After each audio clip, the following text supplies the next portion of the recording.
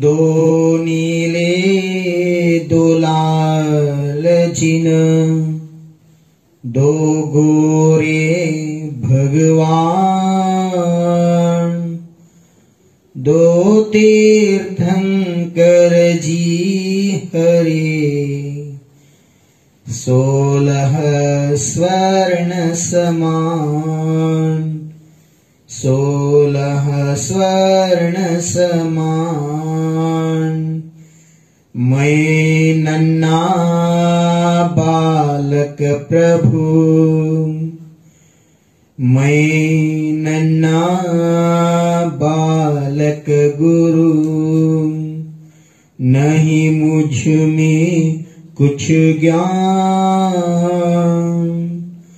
मेरे उर में आबसो मेरे दिल में आबसो कृपा सिंधु भगवान, कृपा सिंधु जिनमा, कृपा सिंधु गुरुवर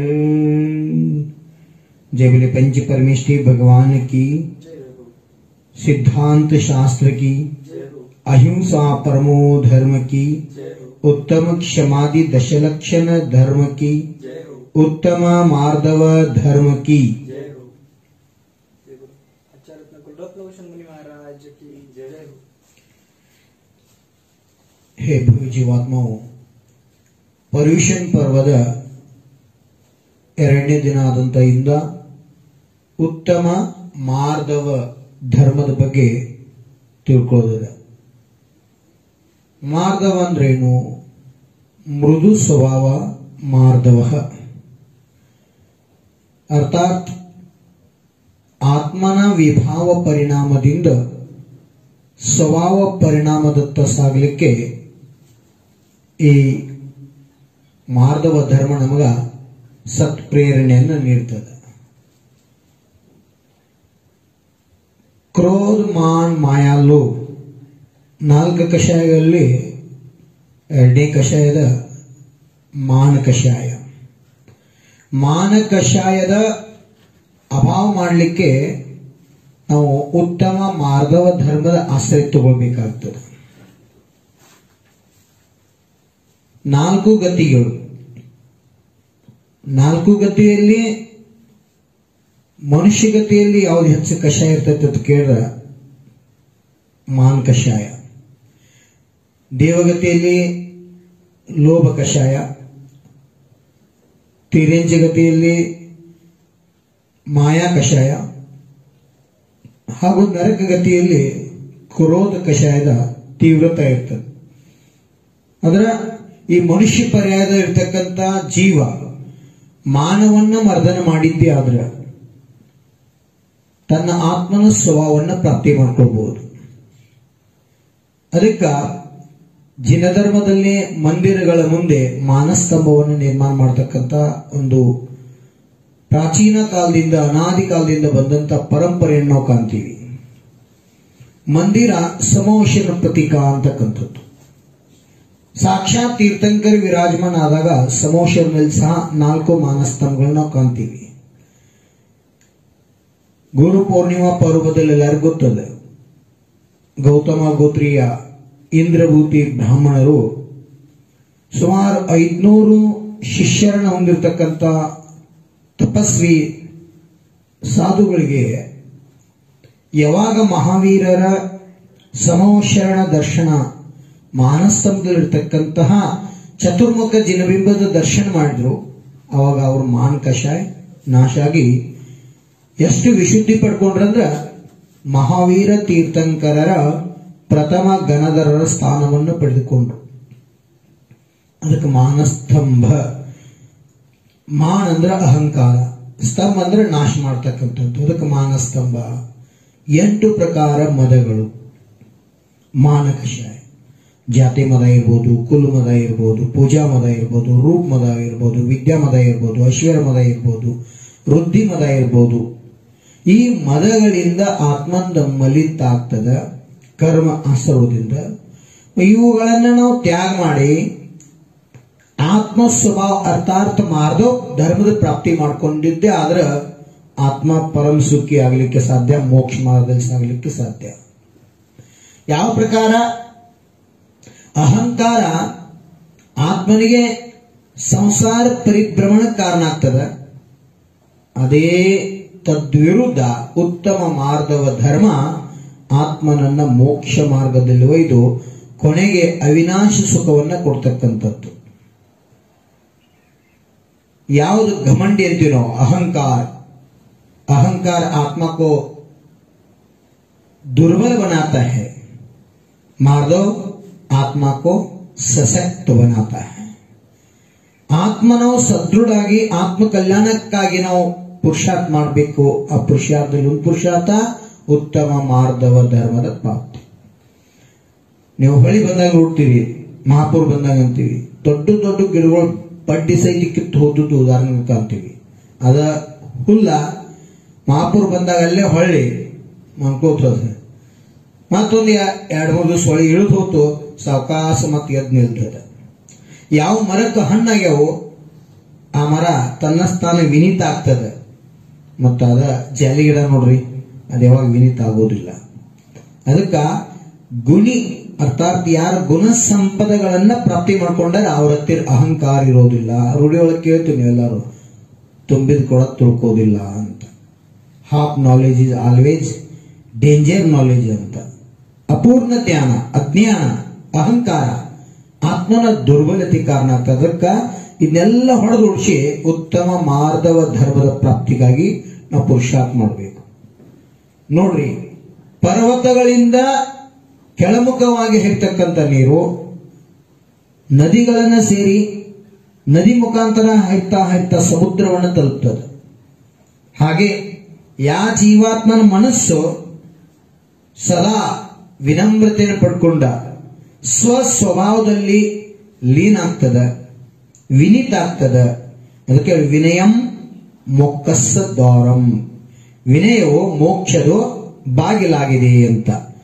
ಆ ವಿನಯದ ರೂಪನ ಉತ್ತಮ ಮಾರ್ಧವ ದರ್ಶನ ವಿನಯ ಜ್ಞಾನ ವಿನಯ ಚಾರಿತ್ರ್ಯ ವಿನಯ ತಪ್ ವಿನಯ ಮತ್ತು ಉಪಚಾರ ವಿನಯ ಈ ಐದು ಪ್ರಕಾರ ವಿನಯಗಳನ್ನು ಆರಾಧನೆ ಮಾಡೋದನ್ನ ಪಾಲನೆ ಮಾಡೋದ್ರಿಂದ ಈ ಜೀವಾತ್ಮ ಪಂಚಮ ಗತಿ ಅರ್ಥಾರ್ಥ ಸಿದ್ಧ ಗತಿ ಮೋಕ್ಷ ಗತಿಯನ್ನ ಪ್ರಾಪ್ತಿ ಮಾಡ್ಕೊಳ್ಳಿಕ್ಕೆ ಸಾಧ್ಯ. ಆ ಸಂದೇಶವನ್ನು ಕೊಡ್ತಕ್ಕಂಥ ಧರ್ಮ ಉತ್ತಮ ಮಾರ್ಧವ ಧರ್ಮ अहंकार आत्मा का शत्रु है तो नमोकार आत्मा का परम ಮಿತ್ರ है ಅಹಂಕಾರವು ಆತ್ಮನ ಶತ್ರುವಾದರೆ ನಮೋಕಾರವು ಆತ್ಮನ ಪರಮ ಮಿತ್ರವಾಗಿದೆ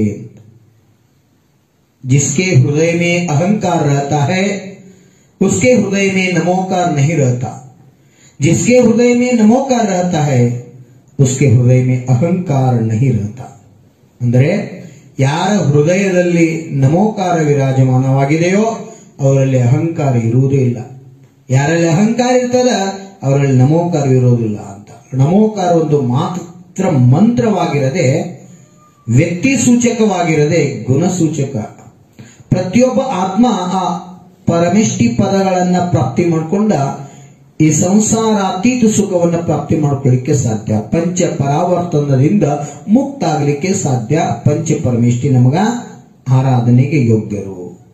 ಆ ವಿನಯದಿಂದ ಆ ಪರಮೇಷ್ಠಿಗಳನ್ನ ಆರಾಧನೆ ಮಾಡೋದೇ ಉತ್ತಮ ಮಾರ್ಧವ ಮಾರ್ಧವ ಆತ್ಮನ ಸ್ವಭಾವ.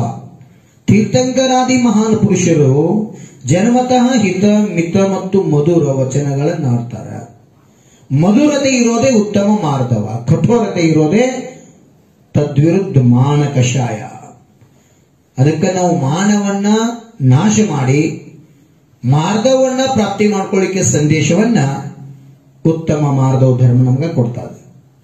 ಈ ಪರ್ವರಾಜ್ ಪೊಲ್ಯೂಷನ್ ದಶಲಕ್ಷಣ ಪರ್ವದಲ್ಲಿ ನಾವು ನಮ್ಮ ಆತ್ಮನ ವಿಶುದ್ಧಿ ಮಾಡ್ತಕ್ಕಂಥ ಪರ್ವ ಇದು. ನಿನ್ನೆ ಕ್ರೋಧ ಕಷಾಯ ಅಭಾವ ಮಾಡ್ತಕ್ಕಂಥ ಸಂದೇಶ.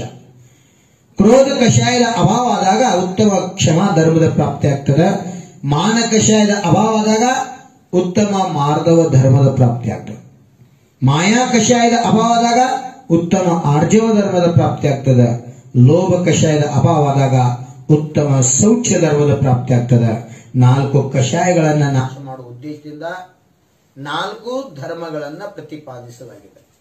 ಉತ್ತಮ ಕ್ಷಮಾ, ಉತ್ತಮ ಆರ್ಧವ್ ಉತ್ತಮ ಆರ್ಜವ್ ಉತ್ತಮ ಶೌಚ್. ಇವು ನಾಲ್ಕು ಧರ್ಮಗಳು, ನಾಲ್ಕು ಕಷಾಯಗಳ ಅಭಾವದಿಂದ ಕಷಾಯದ ಅಭಾವ ಮಾಡಿದಾಗ ಉತ್ತಮ ಕ್ಷಮಾ ಧರ್ಮದ ಪ್ರಾಪ್ತಿ. ಮಾನ ಕಷಾಯದ ಅಭಾವ ಮಾಡಿದಾಗ ಉತ್ತಮ ಮಾರ್ಧವ ಧರ್ಮದ ಪ್ರಾಪ್ತಿ. ಮಾಯಾ ಕಷಾಯದ ಅಭಾವ ಮಾಡಿದಾಗ ಉತ್ತಮ ಆರ್ಜವ ಧರ್ಮದ ಪ್ರಾಪ್ತಿ. ಹಾಗೂ ಲೋಭ ಕಷಾಯದ ಅಭಾವ ಮಾಡಿದಾಗ ಉತ್ತಮ ಶೌಚ ಧರ್ಮದ ಪ್ರಾಪ್ತಿ. ನಾಲ್ಕು ಕಷಾಯಗಳ ಅಭಾವದಿಂದ ನಾಲ್ಕು ಧರ್ಮಗಳ ಪ್ರಾಪ್ತಿಯಾಗಲಿಕ್ಕೆ ಸಾಧ್ಯ. ಅಂದಾಗ ಮಾತ್ರ ಸತ್ಯ ಸಂಯಮ ಮಾತ್ರ ತ್ಯಾಗ ಅಕಿಂಚನ್ಯ ಮತ್ತು ಬ್ರಹ್ಮಚರ್ಯ ನಮ್ಮಲ್ಲಿ ಆತ್ಮನಲ್ಲಿ ಸ್ವಾಗತ ಮಾಡ್ಕೊಳ್ಬಹುದು ಈ ಕಷಾಯಗಳ ಅಭಾವ ಮಾಡುವ ಉದ್ದೇಶದಿಂದ ಪ್ರಥಮವಾಗಿ ಕ್ರಮವಾಗಿ ಈ ಧರ್ಮಗಳನ್ನು ಹೇಳಲಾಗಿದೆ. ಮಾನವನ್ನ ನಿರ್ಮೂಲನೆ ಮಾಡ್ತಕ್ಕಂಥದ್ದು, ನಾಶ ಮಾಡ್ತಕ್ಕಂಥ ಅಹಂಕಾರವನ್ನ ನಾವು ತ್ಯಜಿಸಿದಾಗ ಮಾತ್ರ ಆತ್ಮನ ಕಲ್ಯಾಣ ಆಗಲಿಕ್ಕೆ ಸಾಧ್ಯ. ಎಲ್ಲಿ ಕ್ರೋಧದ, ಅಲ್ಲಿ ನಿಯಮದಿಂದ ಮಾನ್ ಕಷಾಯ ಇರಲಿಕ್ಕೆ ಬೇಕು. ಎಲ್ಲಿ ಮಾನದ, ಅಲ್ಲಿ ಮಾಯಾಚಾರ ಇರಲಿಕ್ಕೆ ಬೇಕು. ಎಲ್ಲಿ ಮಾಯಾಚಾರದ, ಅಲ್ಲಿ ಲೋಭ ಇರಲಿಕ್ಕೆ ಬೇಕು. ಅದಕ್ಕೆ ಪ್ರಪ್ರಥಮವಾಗಿ ನಾವು ಕ್ರೋಧ ಕಷಾಯದ ಅಭಾವ ಮಾಡಿದ ಸಂದೇಶವನ್ನ ಉತ್ತಮ ಕ್ಷಮೆಯಲ್ಲಿ ನಾವು ತಿಳ್ಕೊಂಡಿವಿ. ಇವತ್ತು ಉತ್ತಮ ಮಾರ್ಧವ, ಅರ್ಥಾತ್ ಮಾನ ಕಷಾಯವನ್ನ ನಾಶ ಮಾಡ್ತಕ್ಕಂಥದ್ದು.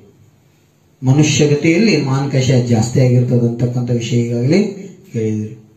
ಎಲ್ಲಕ್ಕಿಂತ ಜೀವ ದುಃಖಿ ಆದ ಕಾರಣ ಅಹಂಕಾರದಿಂದ ಕರ್ಮಾಸ್ತ್ರ ಮಾಡ್ಕೋತಾರೆ. ಅದಕ್ಕೆ ನಾವು ಅಹಂಕಾರ ಮಾಡಬಾರ್ದು. ಮೃದು ಸ್ವಭಾವದಿಂದ ವಿಶ್ವದ ಕಲ್ಯಾಣ ಬಯಸಿ ಸ್ವ ಆತ್ಮ ಕಲ್ಯಾಣವನ್ನು ಮಾಡ್ಕೋಬೇಕು.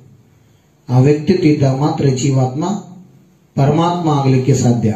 ಅದಕ್ಕೆ ಆಚಾರ್ಯ ಭಗವಂತ ಹೇಳ್ತಾರೋ, ಎಲ್ಲಿವರೆಗೆ ಈ ಜೀವಾತ್ಮ ಎಂಟು ಮದಗಳಿಂದ ನಿವೃತ್ತ ಆಗೋದಿಲ್ಲ ಅಷ್ಟಾಂಗ ಸಮ್ಯಕ್ ದರ್ಶನ ಪ್ರಾಪ್ತಿ ಮಾಡ್ಕೊಳ್ಳಿಕ್ಕೆ ಸಾಧ್ಯ ಇಲ್ಲ ಅಂತ. ಇಪ್ಪತ್ತೈದು ಮಲದೋಷ ರಹಿತ ಸಮ್ಯಕ್ ನಮ್ಮ ಜೀವನದ ಪ್ರಾಪ್ತ ಆಗ್ಬೇಕಾಗಿತ್ತು ಅಂದ್ರ ಅದರಲ್ಲಿ ಎಂಟು ಮದಗಳನ್ನ ಮೊದಲು ತ್ಯಾಗ ಮಾಡಬೇಕು.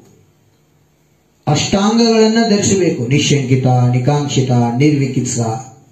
ಅಮೂಲ ದೃಷ್ಟಿತ್ವ ಉಪಗೋಹನ ವಾತ್ಸಲ್ಯ, ಸ್ಥಿತೀಕರಣ ಮತ್ತು ಪ್ರಭಾವನ. ಈ ಎಂಟು ಅಂಗಗಳನ್ನ ಧರಿಸಿದಾಗ ಈ ಜೀವಾತ್ಮ ಸಮೀಚೀನ ಉತ್ತಮ ಮಾರ್ಗವ ಧರ್ಮವನ್ನ ಪ್ರಾಪ್ತಿ ಮಾಡಿಕೊಳ್ಳಿಕ್ಕೆ ಸಾಧ್ಯ. ಅದಕ್ಕ ಜಾತಿ ಮದ ಇರ್ಬೋದು, ಕುಲ ಮದ ಇರ್ಬೋದು, ರೂಪ್ ಮದ ಇರ್ಬೋದು, ಪೂಜಾ ಮದ ಇರ್ಬೋದು, ಐಶ್ವರ್ಯ ಮದ ಇರ್ಬೋದು, ಇವು ಬದಲು ಅಹಂಕಾರವನ್ನು ತೊಡೆದು ಹಾಕಬೇಕು. ಯಾಕ? ಜಾತಿ ಇದು ದೇಹಾಶ್ರಿತ. ಜಾತಿ ಇದು ದೇಹಾಶ್ರಿತ.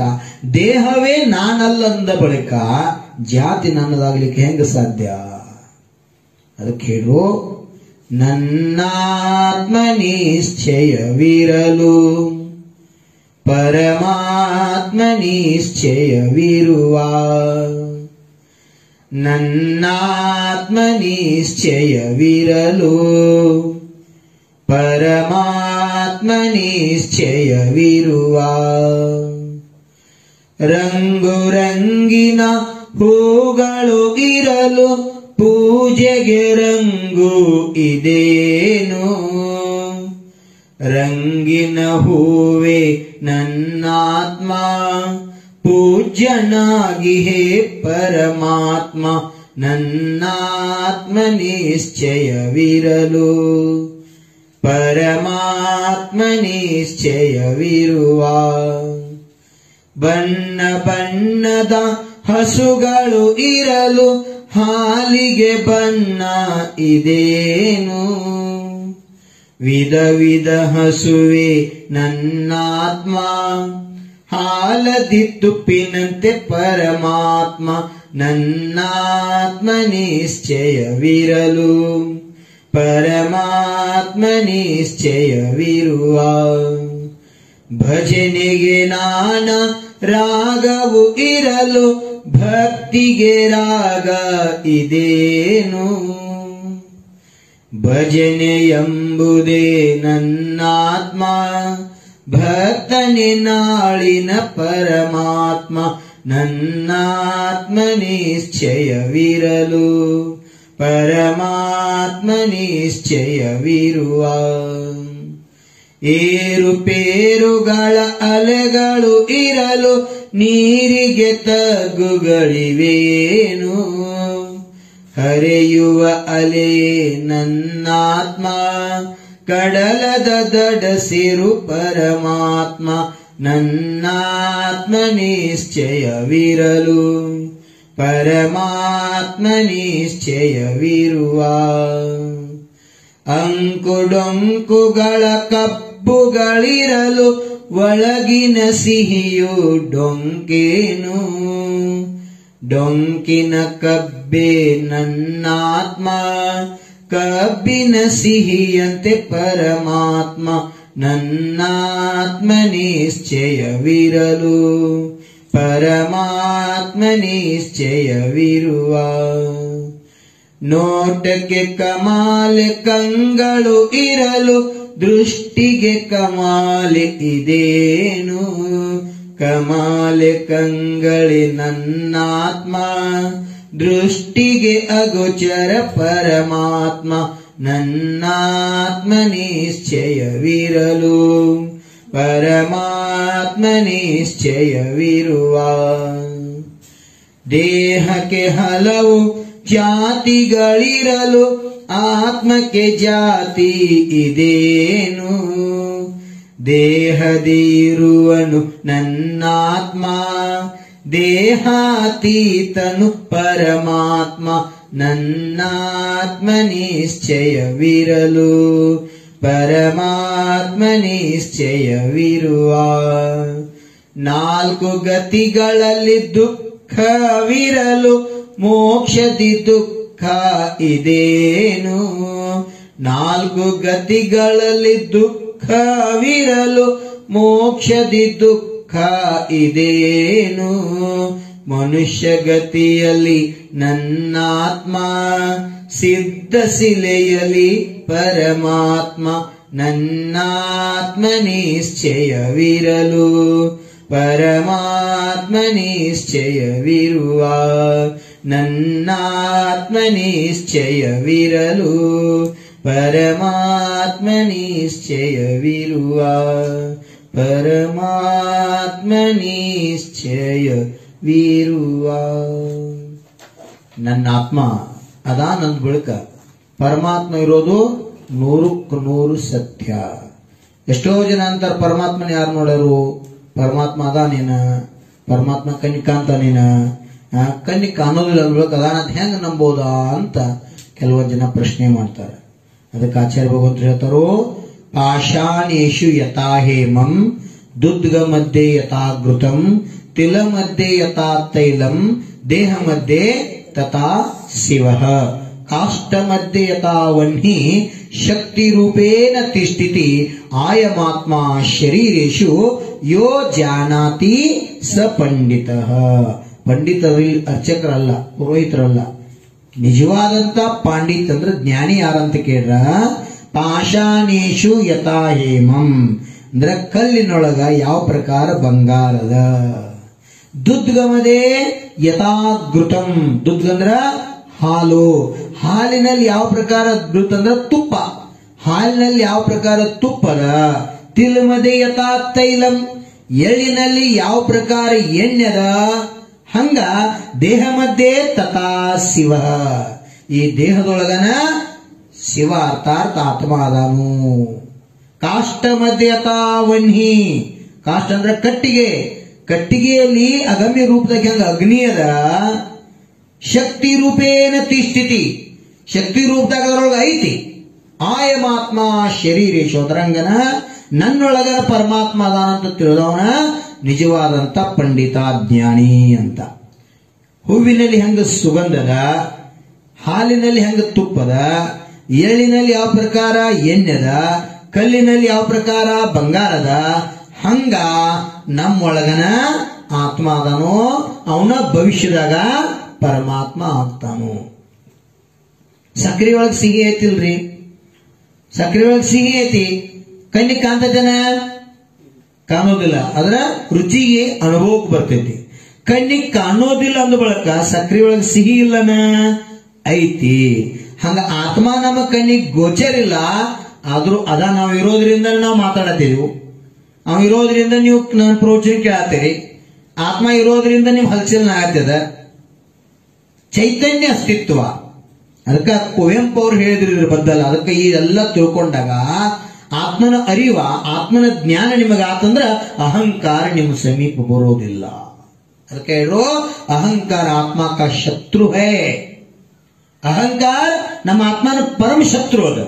ಆ ಅಹಂಕಾರವನ್ನು ನಾಶ ಮಾಡೋ ಸಲುವಾಗಿನ ಉತ್ತಮ ಮಾರ್ಧವ ಧರ್ಮದ ಆರಾಧನಾ ಅವಶ್ಯಕದ. ಎಷ್ಟು ಸೂಕ್ಷ್ಮವಾಗಿ ನೋಡ್ರಿ. ಕುವೆಂಪು ಹೇಳಿಲ್ಲ, ಓ ನನ್ನ ಚೇತನ ಆಗುನಿ ಅನಿಕೇತನ.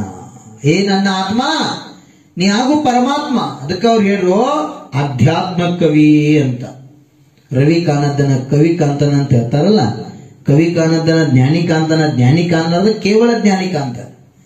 ನೋಡ್ರಿ ಅದಕ್ಕೆ ಹೇಳ್ರು, ಓ ನನ್ನ ಚೇತನ, ಆಗು ನೀ ಅನಿಕೇತನ. ಹೆಂಗೆ ಹೇಳ್ತಾರ? ರೂಪ ರೂಪಗಳನ್ನು ದಾಟಿ, ನಾಮಕೋಟಿಗಳನ್ನು ಮೀಟಿ, ರೂಪ ರೂಪಗಳನ್ನು ದಾಟಿ ನಾಮಕೋಟಿಗಳನ್ನು ಮೀಟಿ, ಎದೆಯ ಬಿರಿಯ ಭಾವದೀಟಿ, ಎದೆಯ ಬಿರಿಯ ಭಾವದೀಟಿ, ಓ ಓ, ನನ್ನ ಚೇತನ ಆಗುನಿ ಅನಿಕೇತನ. ಏ ಆತ್ಮ, ನೀ ಪರಮಾತ್ಮ ಆಗಪ್ಪ, ಹೆಂಗಗವ? ರೂಪ ರೂಪಗಳನ್ನು ದಾಟಿ ನಾಮ ಕೋಟಿಗಳನ್ನು ಮೀಟಿ. ಯಾವುದು ನಿಂದು ರೂಪಿ ಶಾಶ್ವತ ಅಲ್ಲ ರೂಪ, ರಸ, ಗಂಧ, ವರ್ಣ, ಶಬ್ದದಿಂದ ರಹಿತಿರ್ತಕ್ಕಂಥವನೇ ಪರಮಾತ್ಮ. ಯಾವುದು ನಿಂದ ರೂಪ ಶಾಶ್ವತ ಅಂದ್ರೆ ರೂಪ ಮದ ಬರೋದು ಅವಶ್ಯಕತೆ ಏನದ? ರೂಪ ಮದ ಯಾಕೆ ಬರ್ತೈತೆ ಅಂದ್ರ ಶರೀರ ನಾ ಅಂತ ತಿಳ್ಕೊಂಡಾಗ. ಶರೀರನ ನಾ ಅಲ್ಲ ಅಂದ ಬಳಿಕ ರೂಪ ಯಾರಿಗದ? ಆತ್ಮಾಗ ರೂಪ ಇಲ್ಲ. ಆತ್ಮ ಗಂಧಿಲ್ಲ. ಆತ್ಮ ನಿಶಬ್ದ ಬ್ರಹ್ಮಣ ರೂಪ. ಆ ಆತ್ಮ ತತ್ವ ಅದಕ್ಕೆ ರೂಪ ರೂಪಗಳನ್ನು ದಾಟಿ ನಾಮಕೋಟಿಗಳನ್ನು ಯಾವ್ದು ನಿನ್ನ ಹೆಸರಪ್ಪ? ಹೆಸರು ಯಾವ್ದು? ಈ ಪುದುಗಲ್ಕ ನಾಮಕರಣ ಮಾಡ್ಯಾರ ಹೊರತ ಆತ್ಮ ಹೆಸರು ಅದೇನೋ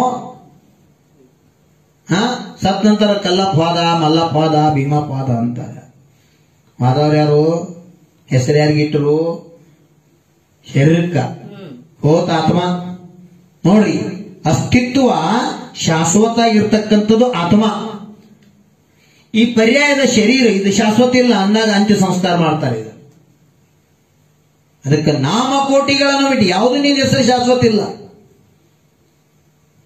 ನೀನು ನಾಮರಹಿತ, ರಂಗರಹಿತ, ಶಬ್ದರಹಿತ ನಿಶಬ್ದ ಬ್ರಹ್ಮ ರೂಪದಿ ಅದಕ್ಕೆ ಇದನ್ನೆಲ್ಲ ಬೀಡು, ಇದನ್ನೆಲ್ಲ ಮೀರಿ ಆಗು ನೀ ಪರಮಾತ್ಮ ಅಂತ.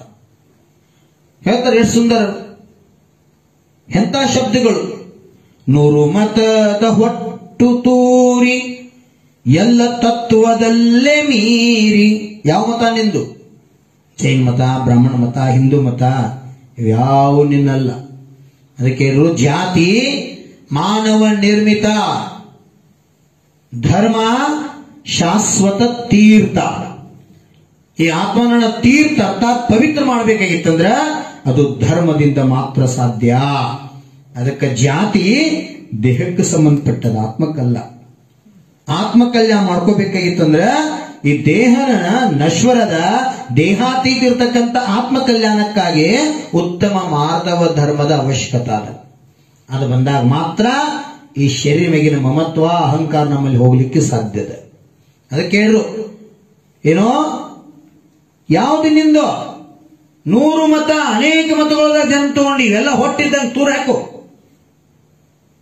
ನೂರು ಮತದ ಹೊಟ್ಟ ತೂರಿ, ಎಲ್ಲ ತತ್ವದಲ್ಲೇ ಮೀರಿ, ಸಪ್ತ ತತ್ವಗಳನ್ನ ಎತ್ಕೋ.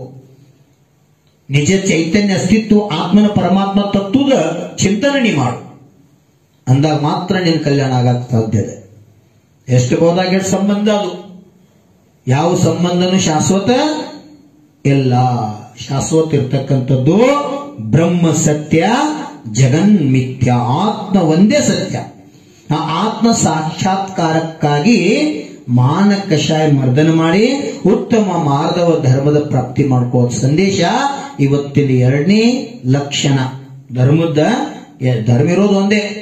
Truth is truth truth is infinite infinite is self is truth endless boundless and eternity whatever it to the ಸತ್ಯ ಅನ್ನೋದು ಎಲ್ಲಾ ಕಡೆ ಒಂದೇ ಇರ್ತದೆ. ಅದು ಕರ್ನಾಟಕ ಇರಲಿ, ಮಹಾರಾಷ್ಟ್ರ ಇರಲಿ, ದಿಲ್ಲಿ ಇರಲಿ, ಅಮೆರಿಕ ಇರಲಿ, ಸತ್ಯ ಎಲ್ಲಿ ಹೋದ್ರೂ ಸತ್ಯ ಆಗಿರ್ತದ. ಸತ್ಯ ಅದಕ್ಕೆ ಸತ್ಯಂ ಶಿವಂ ಸುಂದರಂ. ಸತ್ಯ ಯಾವ್ದದ? ಅದು ನಿತ್ಯದ, ಶಾಶ್ವತದ, ಅದು ಬ್ರಹ್ಮ ತತ್ವದ ಯಾವುದು?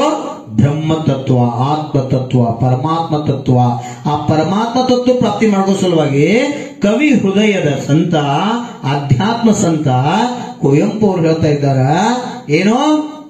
ಎಲ್ಲಿಯೂ ನಿಲ್ಲದಿರು ಮನೆಯನ್ನೆಂದು ಕಟ್ಟದಿರು. ಎಲ್ಲಿಯೂ ನಿಲ್ಲದಿರು, ಮನೆಯನೆಂದು ಕಟ್ಟದಿರು, ಕೊನೆಯನೆಂದು ಮುಟ್ಟದಿರು ಕೊನೆಯನೆಂದು ಮುಟ್ಟದಿರು, ಓ ಅನಂತವಾಗಿರು, ಓ ನನ್ನ ಚೇತನ ಆಗು ನೀ ಅನಿಕೇತನ ಏ ಆತ್ಮ, ಎಲ್ಲಿಯೂ ನಿಲ್ಲಬೇಡ, ಎಲ್ಲಿಯೂ ಮನೆ ಕಟ್ಟಬೇಡ, ಯಾವುದೂ ಇಲ್ಲ ಶಾಶ್ವತ ಇಲ್ಲಿ. ಎಂಬತ್ತು ನಾಲ್ಕು ಲಕ್ಷ ಯೋನಿಯೊಳಗ ನೀ ಯಾವ ಯೋನಿಯೊಳಗೂ ಸ್ಥಿರವಾಗಿರೋದಿಲ್ಲ ಒಂದ ಅಸ್ತಿತ್ವದಲ್ಲಿ ಶಾಶ್ವತದು ಮೋಕ್ಷ ಜೀವನ್ ಮುಕ್ತಿ ಪರಮಾತ್ಮ ತತ್ವ. ಒಂದ್ಸಲ ಜೀವನ್ ಮುಕ್ತಿ ಪಡ್ಕೊಂಡಂದ್ರ, ನೀ ಪರಮಾತ್ಮ ಆದಂದ್ರ ಹಳ್ಳಿ ಸಂಸಾರ ನಿನಗಿಲ್ಲ. ಅದಕ್ಕೆ ಎಲ್ಲಿಯೂ ನಿಲ್ಲದಿರು. ಎಲ್ಲಿ ತನಕ ಪುರುಷಾರ್ಥ ಮಾಡು. ಹೆಂಗ ಜಲಪಾತದಿಂದ ಬರ್ತಕ್ಕಂಥ ನೀರು ಕೆಳಗೆ ಬಿದ್ದ ನದಿ ಸೇರಿ ಸಮುದ್ರಕ್ಕೆ ಸೇರ್ತಕ್ಕಂಥ ಸಂಕಲ್ಪ ಇಟ್ಕೊಂಡು ಹರಿತಿರ್ತದ ಹಂಗ ನೀನು ಗಮನ ಮಾಡು. ಎಲ್ಲಿಯೂ ನಿಲ್ಲದಿರೋ ಎಲ್ಲಿ ನಿಲ್ಬೇಡ. ಕೊನೇ ಗುರಿ ಗುರಿ. ಯಾವುದೋ? ಮೋಕ್ಷ ಪ್ರಾಪ್ತಿ. ಅಲ್ಲಿವರೆಗೆ ಗಮನ ಮಾಡ್ತಾ ಇರೋ, ಪುರುಷಾರ್ಥ ಮಾಡ್ತಾ ಇರೋ. ಒಂದ ಕಡೆ ಎಲ್ಲೋ ಸ್ಥಿರವಾಗಿರ್ಲಿಕ್ಕೆ ಅಪೇಕ್ಷೆ ಪಡಬೇಕ. ಸಂಸಾರದ ಯಾವ ಜೀವೋ ಯಾರೇ ಇರಲಿ. ಬ್ರಹ್ಮ ಇರಲಿ, ವಿಷ್ಣು ಇರಲಿ ಮಹೇಶ್ವರ ಇರಲಿ, ಆದಿನಾಥ್ ಇರಲಿ, ಮಹಾವೀರ್ ಇರಲಿ, ಬುದ್ಧ ಇರಲಿ, ಯಾರ್ಯಾರು ಜನ್ಮ ಆಗೈತಿ ಇಲ್ಲಿ, ಅವ್ರ ಮರಣ ಅಂತೂ ನಿಶ್ಚಿತ. ಅಂದ್ರೆ ಯಾರು ದೇಹಾತೀತಿರ್ತಕ್ಕಂಥ ಆತ್ಮ ಚಿಂತನೆ ಮಾಡಿ ದೇಹರಹಿತ ಆತ್ಮ ಸ್ವರೂಪ ಪ್ರಾಪ್ತಿ ಮಾಡಿಕೊಂಡ್ರು ಅವರು ಪರಮಾತ್ಮ ತತ್ವದಿಂದ ಪರಂ ಸುಖಿ ಆದ್ರು ಅದಕ್ಕೆ ಹೇಳ್ರು ಎಲ್ಲೂ ಮನಿ ಕಟ್ಟಬೇಡ ಕೊನೆ ಅನ್ನೋದು ಎಲ್ಲಿ ನನಗ ಅನಂತ ಕಾಲ ತಕ್ಕ ಸುಖಿಯಾಗಿರ್ತೀಯ? ಅನಂತ ಅನಂತ ಕಾಲವರೆಗೆ ನೀನು ಅನಂತ ಆಗಿಬಿಡ್ತೀಯ ಆ ಶಕ್ತಿ ನಿನ್ನ ಆತ್ಮನಿಲ್ಲದ. ಅದಕ್ಕೆ ಹೇಳ್ತಾರು ಅನಂತತಾನಂತವಾಗಿ ಆಗುತ್ತಿಹನೆ ನಿತ್ಯ ಯೋಗಿ ಅನಂತ ನೀ ಅನಂತವಾಗು ಅನಂತನೀ ಅನಂತವಾಗು, ಆಗು ಆಗು ಆಗು. ಓ ನನ್ನ ಚೇತನ, ಆಗು ನೀ ಅನಿಕೇತನ. ಕವಿ ಕುವೆಂಪು ಅವರು ಕೊನೆಗೆ ಹೇಳ್ತಾರೆ ಅನಂತ ತಾನಂತವಾಗಿ ಎಷ್ಟೋ ಅನಂತ ಕಾಲದಿಂದ ಅನಂತ ಭಗವಾನ್ ಆಗ್ಯಾರ. ಮತ್ತ ಅನಂತ ಆಗೋ ಸಲುವಾಗಿ ಆಗುತ್ತಿಹನೆ ನಿತ್ಯ ಯೋಗಿ ಇವತ್ತು ಅನಂತತೆಯನ್ನ, ಪರಮ ಸೌಖ್ಯವನ್ನ, ಪರಮ ಧಾಮವನ್ನ, ಮುಕ್ತಿಯನ್ನ ಪಡ್ಕೋಲಿಕ್ಕೆ ಇವತ್ತು ಯೋಗಿ ಆಗ್ತಾ ಇರೋದಕ್ಕ ಆಗು ಆಗು ಆಗು, ನೀ ಯೋಗಿ ಆಗು, ನೀ ಸಾಧು ಆಗು, ನೀ ಸಾಧನ ಮಾಡಿ ಸಾಧ್ಯವನ್ನ ಪ್ರಾಪ್ತಿ ಮಾಡ್ಕೊಳ್ತಕ್ಕಂಥ ಸಂದೇಶವನ್ನ ಅನಂತದಲ್ಲಿ ಲೀನ್ ಆಗ್ತಕ್ಕಂಥ ಸಂದೇಶವನ್ನ ಅದಕ್ಕ ಆತ್ಮವನ್ನ ಅರಿತಾಗ ಅಹಂಕಾರ ನಮ್ಮದು ನಾಶ ಆಗ್ತದೆ ಆತ್ಮ ತತ್ವ ತಿಳ್ಕೋಬೇಕು. ಅಂದಾಗ ದೇಹದ ಮೇಗಿನ ಮಮತ್ ನಮ್ದ ಹೊರಟು ಹೋಗ್ತದ ಆತ್ಮ ಕಲ್ಯಾಣ ಸಪ್ರೇರಣ ಸಿಗ್ತದ. ಅದಕ್ಕೆ ಅಹಂಕಾರ ನಮ್ಮ ಆತ್ಮಕ್ಕೆ ದುಃಖದಾಯದ. ಅಹಂಕಾರವನ್ನ ತ್ಯಾಗ ಮಾಡ್ತಕ್ಕಂಥ ಧರ್ಮ ಉತ್ತಮ ಮಾರ್ಧವ ಧರ್ಮ. ಅನೇಕ ದೃಷ್ಟಾಂತಗಳು ನೋಡ್ತೀವಿ ಅಹಂಕಾರದಿಂದ ಕುಲುಕ ಕಲಕತೆವು. ಅಹಂಕಾರದಿಂದ ಅಧೋಪತನ ಆದದ್ದು ಎಷ್ಟೋ ಉದಾಹರಣೆಗಳನ್ನ ಆಗಮದಲ್ಲಿ ಕಾಣ್ತೀವಿ, ಇತಿಹಾಸದಲ್ಲಿ ಓದ್ತೀವಿ. ಅಹಂಕಾರ ಬತ್ತು ಯಾರಿಗೆ? ನೋಡ್ರಿ, ಅದಕ್ಕೆ ಐತಿ ಎಲ್ಲಿ ಕ್ರೋಧದ ಅಲ್ಲಿ ಮಾನ್ ಇರ್ತದ ಅಂತ. ಎಲ್ಲಿ? ಶಿಟ್ಟದ ಅಲ್ಲಿ ಅಹಂಕಾರ ಜೊತೆಗೆ ಬರ್ತದ. ಧ್ಯಾಂಗ ಇಪ್ಪತ್ತೆರಡನೇ ತೀರ್ಥಂಕರ ನಿಮ್ನಾಥ್ ಭಗವಾನರ ಸಮೋಷನ್ ಅವ್ರ ಭಗವಂತ ದಿವ್ಯ ಧ್ವನಿಯಲ್ಲಿ ವಾಣಿ ಆಯಿತು. ಮುಂದಾಗ್ತಕ್ಕಂಥ ಪ್ರಸಂಗ ಹೇಳಿ. ಇವತ್ತಿಗೆ ಹನ್ನೆರಡು ವರ್ಷಲಿ ದ್ವಾರಕಾ ನಗರ ಬಸ್ ಮಾಗ್ತತಿ ಅಂತ. ಹೆಂಗ್ರಿ, ಯಾಕ, ಯಾರ ನಿಮಿತ್ತ ಆಕತಿ ಅಂತ. ಸ್ವರ್ಣಿಮ ದ್ವಾರಿಕಾ ಅಂತೀವಿ ನಾವು. ಅದು ಬಸ್ ಮಾಕತಿ ಯಾರಿಂದ ಆಕತಿ, ಹೆಂಗ ಆಕತಿ ಅಂತ. ದ್ವೀಪಾಯನ ಮುನಿ ಅದಾರಲ್ಲ, ಆ ಮುನಿಗಳ ಕಷಾಯ ನಿಮಿತ್ತದಿಂದ ದ್ವಾರಕಾ ನಗರ ಬಸ್ ಮಾಕತಿ ಅಂತ. ಅದ ಸಮೋಷನ್ದಾಗ ದೀಪಾಯಿ ಮುನಿ ಇದ್ರು. ಅವ್ರು ವಿಚಾರ ಮಾಡ್ತಾರೋ, ಹ, ನನ್ನ ನಿಮಿತ್ತ ದ್ವಾರಕಾನಗರ ಬಸ್ನಾಕತಿ ಸಾಧ್ಯ ಇಲ್ಲ. ನೋಡ್ರಿ ತೀರ್ಥಂಕರ ವಾಣಿ ಭಗವಂತರ ವಾಣಿ ಸತ್ಯತೆ ಗೊತ್ತಿದ್ದು ಏನ್ ಬತ್ತು ಕಷಾಯ. ಯಾರೊಳಗ? ದೀಪಾಯನ ಮುನಿ ಒಳಗ ಕಷಾಯ ಬತ್ತು ಕಷಾಯ ಯುಕ್ತಿರ್ತಕ್ಕಂಥ ದೀಪಾಯನ ಅಂತನ ನೇಮಿನಾತ್ರ ವಾಣಿನ ಸುಳ್ಳು ಮಾಡ್ತನೋ, ಹೆಂಗ ಸುಡ್ತೈತಿ ನೋಡ್ತು. ನಾವು ಹೋಗಂಗಿಲ್ಲ. ನಾ ದ್ವಾರಕಾಕ ಹೋಗಂಗಿಲ್ಲ, ಹೆಂಗ್ ಸುಡ್ತೈತಿ ನೋಡ್ನೋ. ಎರಿದಿ ಸಂಕಲ್ಪ ಮಾಡಿ ಹೊರಟ. ಅನೇಕ ಜಂಗಲ ಬೆಟ್ಟ ಅಲಿತ ಅಲಿತ ಹನ್ನೆರಡು ವರ್ಷಗಳ ಕಾಲ ಕಳೆದ ಕೊನೆಗೆ ಇನ್ನ ನಾ ಗೆದ್ನಿ ಅಂದ್ರ ನೇಮನಾಥ ವಾಣಿ ಸುಳ್ಳಾತು ಇನ್ನ ಹೋಗ್ಬೇಕಂತ ತಿಳ್ಕೊಂಡ ದ್ವಾರಕಾಕ್ ಬಂದ. ದ್ವಾರಕಾದ ಹೊರಗ, ಊರ್ ಹೊರಗ ಒಂದು ವೃಕ್ಷದ ಕೆಳಗೆ ಕಟ್ಟಿ ಮೇಲೆ ಕುತ್ಕೊಂಡ. ಧ್ಯಾನ ಮಾಡ್ಲಿಕ್ಕೆ ಯಾಕ? ಜನ ನಾನು ನೋಡ್ಲಿ ನೇಮನಿತ್ರ ವಾಣಿ ಸುಳ್ಳಾತು. ಮುನಿಗಳು ಬಂದ್ರು ಅದ್ರ ದರ್ಕಕ್ಕೆ ಏನಾಗ್ಲಿಲ್ಲ ಅಂತ. ನೋಡ್, ಆ ಸಮಯದಾಗ ಯಾದವ ವಂಶೀಯ ರಾಜಪುತ್ರರು ವನ ಕ್ರೀಡಾಕ್ ಹೋಗಿದ್ರು. ಯಾಕೆ ಹಿಂಗಾಕೈತಿ ಅಂತ ಕೇಳಿದ್ದಾಗ ನಿನ್ನ ಹೇಳಿದ್ರು, ನಿಷೇಧಾಗ ದಾರು ಕುಡ್ದ, ಶಿಂದಿ ದಂಡಿ ಕುಡ್ದ, ನಿಷೇಧಾಗ ಮುನಿಗಳು ನಿಂದ ಮಾಡ್ತಾರೋ ಆ ಟೈಮ್ದಾಗ ಅವ್ರ ಕ್ರೋಧ ಬಂದ ದ್ವಾರಕಾನಾಗ ಸುಡ್ತೈತಿ ಅಂತ ಭಗವಾನ್ ಹೇಳಿದ್ರು. ಅವಾಗ ಊರ್ ಜನ ಎಲ್ಲ ನಿರ್ಣಯ ತಗೊಂಡ್ರು. ದ್ವಾರಕಾದಾಗ ಶೆರೆ ಶಿಂದಿ ಎಲ್ಲ ನಿಷೇಧ. ಯಾರು ತಯಾರು ಮಾಡಂಗಿಲ್ಲ, ಮಾರಂಗಿಲ್ಲ, ಕುಡಿಯಂಗಿಲ್ಲ. ಆಜ್ಞೆ ಹೊಡಿಸ್ಬಿಟ್ರು ಅವಾಗ ಇರ್ತಕ್ಕಂತ ದಾರು, ಶೆರೆ ಶಿಂದಿನ ಏನ್ ಮಾಡಿದ ಜನ ಓದು ಊರ್ ಹೊರಗಿಂದ ಕೆರಿಯೊಳಗ ಬಚ್ಚಿಬಿಟ್ರು. ಕರ್ಮಾಧರ್ಮ ಸಂಯೋಗ ಯಾದವ ವಂಶೀಯ ರಾಜಪುತ್ರರು ವನ ಕ್ರೀಡಾಕ್ ಹೋದಾಗ ಬಾಯಾರಿಕೆ ಅದು ನೀರು ಹುಡುಕಿದ್ರೆ ಎಲ್ಲಿ ನೀರು ಸಿಗ್ಲಿಲ್ಲ? ಅಲ್ಲೇ ಕೆರೆಯಾಗಿರ್ತಕ್ಕಂಥ ನೀರು ಕುಡಿದ್ರು. ಆ ನೀರಿನೊಳಗಿದ ಇರೋದ್ರಿಂದ ದಾವದ ವಂಶ ಇವ್ರಿಗೆ ನಿಶ್ಚಯ ಇತ್ತು. ಲಗೌಟಿ ಹೊಡ್ಕೋತ್, ಬೇಕೋತ್, ಕುಣ್ಕೋತ್ ಬಂದ್ರು. ಊರ್ ಹೊರಗೆ ಕೂತಿರ್ಲ ಗಿಡದ ಬಡ್ಡ್ಯ ಮಹಾರಾಜರ. ಅವ್ರು ನೋಡಿ, ಶೆಟ್ಟು ಬತ್ ನೋಡಿ ನಿಷೇಧ ಆಗಿದ್ರಿ ಇವ್ರ. ಪದ್ಮಾಸ್ ಸಾಧು. ಹಾ? ನೇನಾ ತೀರ್ಥಂಕರ್ ನಿನ್ ನಿಮಿತ್ಲೆ ದ್ವಾರಕಾ ಸುಲ್ತತಿ ಅಂತ ಇಲ್ಯಾಕ್ ಬಂದಿ ಅಂತ ತಿಳ್ಕೊಂಡ ಕಲ್ ತಗೊಂಡು ಯಾಕೈತ್ರು ಬಡಗಿರಿ ಬಡಿಯಾಕೈತ್ರು ಧ್ಯಾನಸ್ತಿರ್ತಕ್ಕಂಥ ಮುನಿಗೆ ಕ್ರೋಧ ಕಷಾಯ ಬತ್ ನೋಡ್ರಿ. ಯಾವ್ದೋ? ಕ್ರೋಧ. ಅದಕ್ಕೆ ಹೇಳು ಉತ್ತಮ ಕ್ಷಮಾಧರ್ಮ ಪ್ರಾಪ್ತ. ಕ್ರೋಧ ನಾಶ ಆಗಬೇಕು. ಕ್ರೋಧ ನಾಶ ಆಗ್ಲಾರ್ದ ಉತ್ತಮ ಅರ್ಧವಿಲ್ಲ ಇಲ್ಲ ಇಲ್ಲ. ನೋಡ್ರಿ, ಕ್ರೋಧದ ಅಭಾವ ಆದಾಗ ಉತ್ತಮ ಕ್ಷಮ. ಮಾನದ ಅಭಾವ ಆದಾಗ ಉತ್ತಮ ಮಾರ್ಗವು ಸಿಟ್ಟು ಬತ್ತು, ಅಹಂಕಾರ ಬಿಟ್ಟು. ಅವಾಗ ಅವ್ರದ ಎಡ್ಕಿನ ಬಾಜುದಿಂದ ಪುತ್ಳಾದ ಬೆಂಕಿ ಇತ್ತು, ಸ್ವತಃ ಬಸ್ ಮಾದ್ರು ದ್ವಾರಕಾ ನಗರ್ ಸುಟ್ಟೋಯ್ತು ಸ್ವತಃ ಏಳನೇ ನರಕಕ್ಕೆ ಹೋದ್ರು ದೀಪಾಯನ ಮುನಿ ದ್ವಾರಕಾ ನಗರ್ ಭಸ್ಮ ಸಾತಾಗಿ ಹೋಯ್ತು. ಎದರಿಂದ? ಕಷಾಯ. ಕಷಾಯ. ಅದಕ್ಕೆ ಹೇಳ್ರು ಕಷಾಯ ವಶೀಭೂತ ಆಗ್ಬೇಡ್ರಿ ಕಷಾಯ ವಶೀಭೂತ ಆದ್ರ ಏನಿಲ್ಲೋ ಏನು ಒಂದು ಅನಾಹುತ ಗಡ ಅವಘಡ ಆಗೇ ಆಗ್ತದ.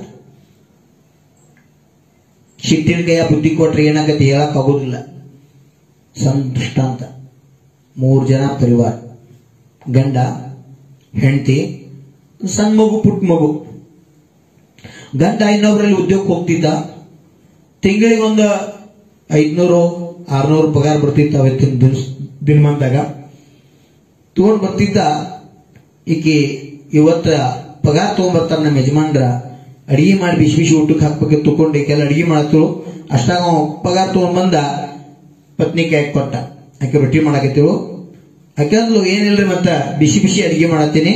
ಕೈಕಾಲು ತಕ್ಕೊಂಬರಿ ಅಂತ ಯಜಮಾನ್ ಹೇಳಿದ್ರು. ಹ್ಞೂ ಅಂತೇಳಿ ಅವ್ನು ಕೈಕಾಲು ತಕೊಳಕ್ ಹೋದ. ಆಕಿ ಮಗು ಅಲ್ಲೇ ಹಿಟ್ಟ ತಗೊಂಡು ಆಡಾಕತ್ತಿತ್ತು ಹಿಟ್ಟದ ಒಂದು ಗೊಂಬೆ ಮಾಡಿ ಕೊಟ್ಟಿದ್ಲು ಗುಬ್ಬಿ. ಆಡ್ಕೋತ್ ಕೂತಿತ್ತು ಮಗು. ಅಲ್ಲೇ ಮುಂದೆ ಇಟ್ಟು ಹೋಗಿದ್ದವ. ಆ ಮಗು ಆಡ್ತಾ ಆಡ್ತಾ ಏನ್ ಮಾಡ್ತು? ಆ ರಕ್ತದ ಬಂಡಲ್ ತಗೊಂಡು ಒಲೆ ಹಾಕ್ತು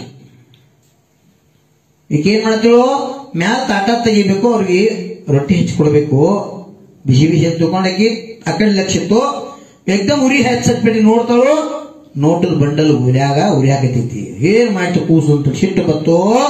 ಕಷಾಯ ವಶಭೂತ್ಲಾಗ ಏನ್ ಮಾಡ್ಲು? ಕೂಸ ಹಿಡ್ದು ಎತ್ತಿ ಉಗಿದ್ಲು. ಕೊಡಿಮಿಗಿ, ಕೊಡಿಮಿಗೆ ಇರ್ತೈತಲ್ಲ ರೊಟ್ಟಿ ಬಿಡದು. ಅದಕ್ಕ ಆ ಮಗು ಮೇಲೆ ಕೆತ್ತು ಅಲ್ಲೇ ಟ್ಯಾತ ಕೂಗಿ ಮಗು ಸತ್ತು ಹೋಯ್ತು. ಕೈಕಾಲ್ ತಕ್ಕೊಳ್ಕೋದಂತ ಪತಿ ಅಂದ್ರೆ ಏನಾದ್ ನನ್ನ ಮಗು ತೋಡ್ಕೊತ ಬಂದ್ ನೋಡ್ತಾನ ಮಗು ಏನಾಗಿ ಬಿದ್ದದ? ಏನ್ ಮಾಡಿ ನನ್ನ ಮಗ್ಗ ತಿಳ್ಕೊಂಡು ಒಲ್ಯಾಗಿಂದ ಕೆಂಡ ಸೈತಿರ್ತ ಕಟ್ಟಿಗೆ ತಗೊಂಡು ಹೆಂಡತಿನ ಬಡ್ದ ಬಿಡ್ತಾನೋ? ಹೆಂತಿಗೂ ಮೇಲೆ ಕೈ ತೆಕ್ನೋ ಸತ್ಲ. ವಿಚಾರ ಮಾಡ್ತಾನೋ? ಪ್ರೀತಿಯ ಹೆಂಟ್ ಸತ್ಲು ಮಮತೆಯ ಮಗು ಸತ್ತು ಇನ್ ನಾಯಾಕ್ ಬದುಕ್ಬೇಕಂದ ಅವನು ನೇನ್ ಹಾಕೊಂಡು ಸತ್ತು ಬಿಟ್ಟ ಏನಾತು? ಇಡೀ ಮನಿನ ಸ್ಮಶಾನ ಆಗಿ ಹೋಯ್ತು. ಇದರಿಂದ ಕಷಾಯ. ಕಷಾಯ ವಶಭೂತ್ ನಾವು ನಮ್ಮ ಆತ್ಮನ ಪತನ ನಿಶ್ಚಿತ. ಮತ್ತೆ ಕಷಾಯಗಳನ್ನ ಜಯಿಸೋ ಸಲುವಾಗಿನ ಈ ಪರ್ವರಾಜ್, ಪರ್ಯೂಷನ್ ದಶಲಕ್ಷಣ ನಾವು ಇವತ್ತು ತಗೊಳ್ಳೋದು ಅತ್ಯವಶ್ಯಕದ ಕ್ರೋಧ ಕಶ ಅಭಾವ ಆದಾಗ ಉತ್ತಮ ಮಾಡದವ ಧರ್ಮ ಕಡೆನ ಹೋಗ್ಬೇಕಾಗ್ತದೆ. ಅದಕ್ಕೆ ಮಾನ ಕಷವನ್ನು ತೊಡೆದಾಕಿ ಸ್ವ ಆತ್ಮ ಕಲ್ಯಾಣಕ್ಕಾಗಿ ನಾವು ಚಿಂತನೆ ಮಾಡಬೇಕು ಅಂದಾಗ ನಮ್ಮ ಕಲ್ಯಾಣ ಆಗ್ತದೆ. ಯಾವ ಪ್ರಕಾರ? ಯಶೋಧರ ಮುನಿಗಳ ಕೊಳ್ಳಾಗ ಯಾರೋ? ಚೆಲ್ನಾರಾಣಿ ಹಾವ ಹಾಕಿದ್ದ ಯಾರೋ? ಸೈನಿಕ್. ಅದನ್ನ ಚೆಲ್ನಾರಾಣಿ ತೆಗೆದ ಕ್ಷಮಾ ಯಾಚನೆ ಮಾಡ್ತಾಳೆ. ನಮ್ಮ ಪತಿಯಿಂದ ದೋಷ ಆಗಿದ್ದು ಕ್ಷಮಾ ಮಾಡಿ ಗುರುದೇವ್ ಅಂತ. ಮಹಾರಾಜರ ಇಬ್ರಿಗೂ ಒಂದ ಆಶೀರ್ವಾದ ಕೊಡ್ತಾರ. ಸದ್ಧರ್ಮ ವೃದ್ಧಿರಸ್ತು ಉಪ್ಸರ ಕೊಟ್ಟವ್ರಿಗೂ ಅದ ಆಶೀರ್ವಾದ. ಉಪ್ಸರ ದೂರ ಮಾಡಿದವ್ರಿಗೂ ಅದ ಆಶೀರ್ವಾದ. ರಾಗ ದ್ವೇಷ ಇಲ್ಲ. ಸಮತಾಭಾವದಿಂದ ಆಶೀರ್ವಾದ ಮಾಡ್ರು. ಶ್ರೇಣಿಗೆ ಪಶ್ಚಾತ್ತಾಪ ಆಗ್ತೈತಿ. ತಲವಾರ್ ತಗೊಂಡಂತಾನು ನಾ ದೊಡ್ಡ ಪಾಪಿ ಅದೀನಿ, ನಿಮ್ ಚರಂದಾಗ ನನ್ನ ಮಸ್ತಕ ಅರ್ಪಣೆ ಮಾಡ್ತೀನಿ. ಕಡ್ಡ ಕೈ ಹಾಕುತ್ತಾಳೆ, ಏ ಶ್ರೇಣಿ, ಏನ್ ಮಾಡಕತಿ ಅವಾಗ ಮೈಯ ಬೆವರು ಬಿಡ್ತದ. ನನ್ನ ಹೆಸರು ಇವ್ರಿಗೆ ಹೆಂಗ್ ಗೊತ್ತು? ಅಲ್ಲಪ್ಪ, ಯಾವಾಗ ನೀ ಆತ್ಮಹತ್ಯೆ ಮಾಡ್ಕೋಬೇಕ ವಿಚಾರ ಬಂತು, ಆ ಟೈಮ್ದಾಗ ನಿನಗೆ ಏಳನೇ ನರಕದ ಬಂದಾಗೈತಿ. ಆತ್ಮಹತ್ಯಕ್ಕಿಂತ ದೊಡ್ಡ ಪಾಪ ಇನ್ನೊಂದು ಇಲ್ಲ. ಆತ್ಮಹತ್ಯೆ ಮಾಡ್ಕೋಬಾರ್ದು. ಯಾರ ಮನೆಯಲ್ಲಿ ಆತ್ಮಹತ್ಯೆ ಆಗ್ತದ, ಆತ್ಮಹತ್ಯೆ ಮಾಡ್ಕೋತಾರ? ಆ ಮನೆಗೆ ಆರು ತಿಂಗಳ ತಕ್ಕ ಸೂತ್ಕ ಅಂತ ಆರು ತಿಂಗಳ ತಕ್ಕ ಅವ್ರ ಮನ್ಯಾಗ ಸಾಧು ಸತ್ರ ಸೈನ್ ಮಾಡಕ್ ಬರೋದಿಲ್ಲ ಅಂತ. ಮಹಾನ್ ಪಾಪ. ಆತ್ಮಹತ್ಯಕ್ಕಿಂತ ದೊಡ್ಡ ಪಾಪ ಇನ್ನೊಂದಿಲ್ಲ. ಅವಾಗ ಪಶ್ಚಾತ್ತಾಪ ಇತ್ತು, ಗುರುದೇವ್, ನಂಗೆ ಪ್ರಯಾಸಿತ್ ಕೊಡಿ. ಹೌದು. ನೀನು ಪ್ರಮುಖ ಸ್ರೋತ ಆಗ್ತಕ್ಕಂಥ ಭವಿ ಜೀವದಿ ಭಗವಾನ್ ಮಹಾವೀರ್ ಸಮೋಶರನ ನಿನ್ನ ರಾಜಗರ ಪಟ್ಟಣದ ಬದಿಯಲ್ಲಿರ್ತಕ್ಕಂಥ ಇಪ್ಲಾಚಲ್ ಪರ್ವತ ಮೇಲೆ ಬರೋದದ ಅವ್ರ ಸಮೋಷದಿಂದ ಹೋಗಿ ನೀ ಭಕ್ತಿ ಮಾಡು, ನಿನಗ ಭವಿಷ್ಯ ಭಾಗ್ಯ ಉದಯಕ್ಕೆ ಬರ್ತದ, ಭವಿಷ್ಯ ಉಜ್ವಲ ಆಗ್ತದ. ಗುರು ಉಪದೇಶ ಕೊಟ್ರು. ಆ ಪ್ರಕಾರ ಮಹಾವೀರ ಸಮೋಶನ ರಚನೆ ಆಯಿತು. ಸೈನಿಕರಲ್ಲಿ ಪ್ರಮುಖ ಸ್ತೋತ್ರ ಆದರು. ಅರವತ್ತ ಮೂರು ಸಾವಿರ ಗಟ್ಟಲೆ ಪ್ರಶ್ನೆಗಳನ್ನ ಕೇಳಿ, ಸ್ವಕಲ್ಯಾಣ ಜೊತೆಗೆ ಸಮಾಜ ವಿಶ್ವ ಕಲ್ಯಾಣ ಮಾಡ್ತಕ್ಕಂತ ಕಾರ್ಯ ಮಾಡಿದ್ರು.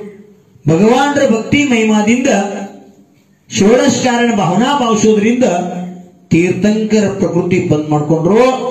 ಇನ್ನ ಭವಿಷ್ಯ ಕಾಲದಾಗ ಪ್ರಥಮ ತೀರ್ಥಂಕರ ಮಹಾಪದ್ಮ, ಹೆಸರಿನ ತೀರ್ಥಂಕರ ಯಾರಾಗವ್ರಂದ್ರ ಸೈನಿಕ ರಾಜ.